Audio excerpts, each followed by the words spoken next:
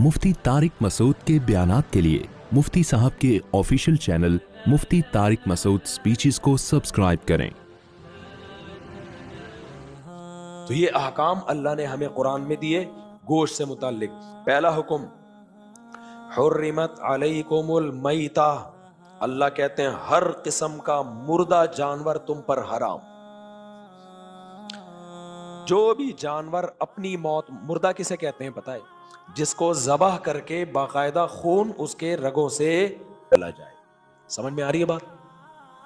जिसको जबह करके उसके जिसम से ब्लड ना निकाला जाए, इस जानवर को क्या कहा जाता है?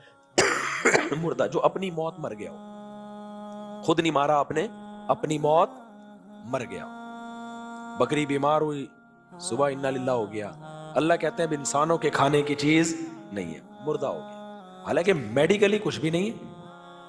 गोश्त ले जाए, मेडिकल टेस्ट कराएँ सब। भाई, हर चीज़ मेडिकली नहीं होती। कुछ मेडिकली तो बेटी से निकाह करना कोई कोई है? माज अल्लाह कोई इसमें नुकसान है? मेडिकली तो होमोसेक्सुअलिटी में भी कोई नुकसान नहीं है। लेकिन ये गधों के करने के काम, गधे भी नहीं करते ये काम। तो अब दुनिया हर चीज़ को मेडिकल साइंस के लिहाज से देख रही है। जबकि तहजीब मेडिकल साइंस से हट के एक अलग चीज़ है। मैं बात को समेटता हूँ क्योंकि बिल्कुल ही ना बैठ जाऊँ कहीं में। तो अल्लाह ने फरमाया, हुर्रिमत अलैकुमुल मैता तो तुम पर मुर्दार हराम है। इसी में एक और फिकही मसला मैं बयान कर दूँ कि मछली भी मुर्दार ही है। जब हम मछली निकालते हैं ना तो वो जबा नहीं होती, वो क्या है? मुर्दार है। लेकिन हदीस में आता है वो हिल्लत लना मई ततान अल्लाह ने दो मुर्दार हमारे लिए हलाल कर दिए हैं असमकु वल जराद, एक मछली और एक टिड्डी। टिड्डी समझते हैं? वो जो खेतों को चट करने वाली नहीं, अभी दो तीन साल पहले पाकिस्तान में भी आई हुई थी, पूरे गौल वो जबा किए बगैर मर भी जाए ना तो क्या कर सकते हो आप? खा सकते हो। तो इमाम अबू हनीफा का इसी हदीस की बेस पर यह मौकफ है कि समंदर की मखलूक में, पानी की मखलूक में सिर्फ़ मछली हलाल है। मछली के अलावा कोई और जानवर पानी का हलाल नहीं है, क्योंकि पानी के जानवरों को जबह नहीं किया जाता। उनमें बहता हुआ खून ही नहीं होता ना। तो वो सारे मुर्दार ही के हुक्म में है। लिहाजा मछली के अलावा कोई और चीज़ आप नहीं खा सकते। समझते हो कि नहीं समझते? आज बहुत से स्कॉलर्स ने जहलम वाली सरकार समेत अबू हनीफा का इस मसले में मज़ाक उड़ाना शुरू कर दिया। और दलील के तौर पर कुरान की आयत पेश करते हैं सूर्य अनाम की वहिल्लकुम सईदुल बहरी व तो अली सैारा कि तुम्हारे लिए समंदर का शिकार और उसका खाना हलाल है। हालाँकि उस आयत का सियाक सबाक आप देखें, वहाँ हरम की पाबंदियों का ज़िक्र हो रहा है कि एहराम में तुम खुशकी का शिकार नहीं कर सकते, समंदर का शिकार कर सकते हो। उसका यह मतलब नहीं है कि समंदर की हर मखलूक हलाल है। यानी एहराम की हालत में आप हज करने जा रहे हो ना, या उम्र करने, समंदर में हो, वहाँ समंदर में शिकार कर सकते हो आप। एहराम की पाबंदियाँ समंदरी शिकार पे लागू नहीं होती। आपको पता है ना, एहराम में जू मारना भी हराम है। अबे, क्या हो गया? इसकी आवाज़ तो तेज कर दो यार, भाई, खुदा का वास्ता। पहले गले की हालत देखो और आप। एहराम में जू भी नहीं मार सकते आप। समझते हो? लेकिन समंदर का शिकार क्या है? हलाल है। तो इस आयत से ये नतीजा निकालना और फिर अहनाफ पे कीचड़ उछालना, मज़ाक उड़ाना कि देखो ये कुरान की आयत के मुनकर अंधे मुकलद हैं। तो ये नहीं बनता। है आपके पास जब तक पूरी नॉलेज ना हो, आप तबसरा ना किया करें।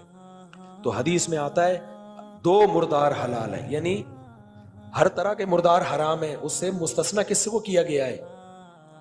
दो मुर्दारों को। और इसी को हदीस में कहा गया मछली के बारे में, वलहिल्लु कि इसका मुर्दार हमारे लिए हलाल है। तो दूसरी हदीस में इसकी तफसीर है कि उस मुर्दार से कौन मुराद है? मछली मुराद है।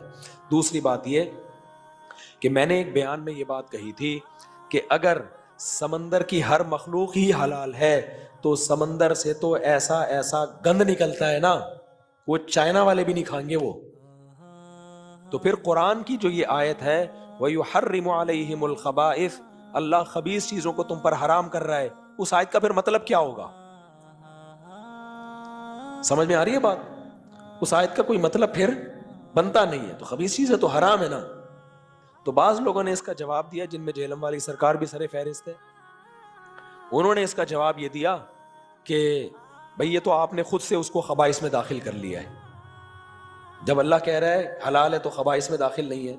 तो मेरा फिर एक आखिरी सवाल यह है कि इसका मतलब ये हुआ कि फिर समंदर में या पानी की मखलूक में मगरमच्छ और कछवा भी हलाल होना चाहिए। फिर आप एक जगह टिको। और सऊदी अरब के ओलमा शेख साले अलसैमीन उन लोगों की राय यही है कि समंदर की हर मखलूक हलाल है। तो उनका ये फतवा मौजूद है कि फिर वो कहते हैं उनसे किसी ने पूछा कि क्या मगरमच्छ और कछवा भी हलाल है? उन्होंने कहा हाँ, वो भी हलाल है। हमारे जो स्कॉलर है ना वो आधी बात करते हैं और आधी पी जाते हैं। तो फिर आप पब्लिक को सिर्फ़ ये नहीं बताओ कि केकड़ा हलाल है। फिर आप पब्लिक को ये बताओ कि कछुए के अंडे भी आप उसी तरह खा सकते हैं जैसे मुर्गी के अंडे पका के खाते हैं। और मगरमच्छ के अंडे भी आपके लिए इसी तरह हलाल हैं, जैसे कछुए के अंडे हलाल झेलम वाली सरकार ने इस इश्काल का जवाब दिया है। वो जवाब ये दिया है कि केकड़ा इसलिए हलाल है कि वो पानी के बगैर ज़िंदा नहीं रह सकता, जबकि मगरमच्छ पानी के बगैर ज़िंदा, बोलो, रह सकता है, इसलिए वो हराम है, और कछुआ भी पानी के बगैर ज़िंदा रह सकता है। सरकार की खिदमत में अर्ज़ यह है कि कछुए की दो किस्में हैं। एक होता है खुश्की का कछुआ, एक होता है पानी का कछुआ। और मगरमच्छ भी ज़्यादातर पानी के अंदर रहता है। वो खुश्की का जानवर, कभी किसी जंगल में मगरमच्छ देखा आपने? तो जैसे केकड़ा पानी में रहता है कभी कभार इंजॉय करने के लिए बाहर आ जाता है। तो मगरमच्छ भी पानी का जानवर है कभी कभार इंजॉय करने के लिए बाहर आ जाता है। तो जिस दिन इंजॉय करने के लिए बाहर तशरीफ़ लाए काइंडली आप उसको पकड़े, कबाब बना के खाएँ। फिर मैं कहूँगा कि आपका जो दावा है हनफियों के खिलाफ, आप उस दावे में सच्चे हो। खाते नहीं है तो कम से कम ये बोले कि ये हलाल है। ये लोग पेंतरे बदलते हैं बहुत ज़्यादा। और जिस जो जानवर हलाल है, उसके अंडे भी क्या हैं? हलाल हैं। तो जेहलम में कछुए के अंडे बिकने चाहिए। समझ में आ रही है बात?